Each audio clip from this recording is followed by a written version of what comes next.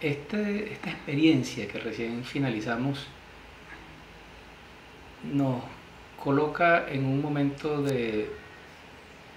refrescar, de volver sobre algunas cosas ya dichas. Valorar, registrar y documentar el patrimonio comporta no solo el deseo de hacerlo, sino y sobre todo el compromiso con, con cada uno es decir, de cada quien consigo mismo, por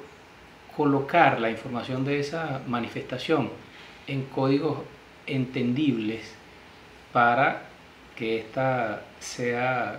compartida y sea entendida. Cuando investigamos,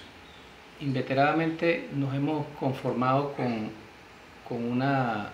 descripción superficial que nos da cuenta de fechas, de, de la manifestación, del desarrollo de la manifestación, de algunos personajes, incluso de, de, instrumentos musicales, pero quizás haya que ir un tanto más allá, quizás haya que seguir abrazando las ideas de, de Gertz en cuanto a describir, pero de manera densa, esa, esas significaciones que entraña cada manifestación. Es decir, cuando usted está frente a una fiesta, en un proceso de investigación, no debe olvidar que esa fiesta no solo tiene un desarrollo que se da paso por paso, tiene unos personajes y cada uno de esos personajes tiene una historia de vida.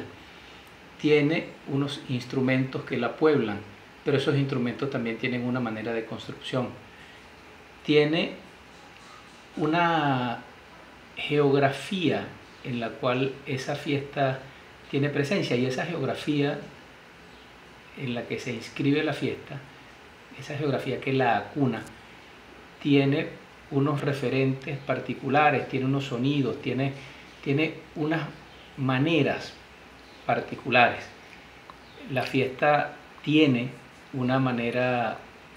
de expresarse, pero también tiene unas maneras eh, en las que ella habla, tiene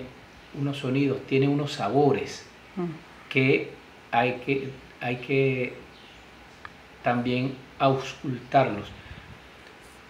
no solo quienes participan activamente de la fiesta son protagonistas de ella. Si, en el marco, si en el contexto de la fiesta hay un elemento gastronómico, la persona que cocina también es protagonista de la fiesta, aunque no participe con el santo, quien en aquellas que son